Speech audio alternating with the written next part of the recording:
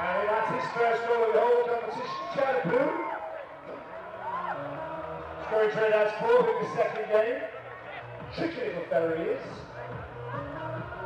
Great skills on the sand.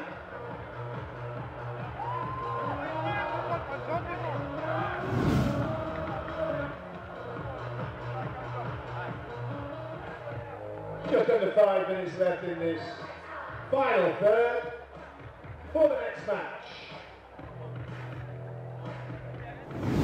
Game Antigua Barbuda will take on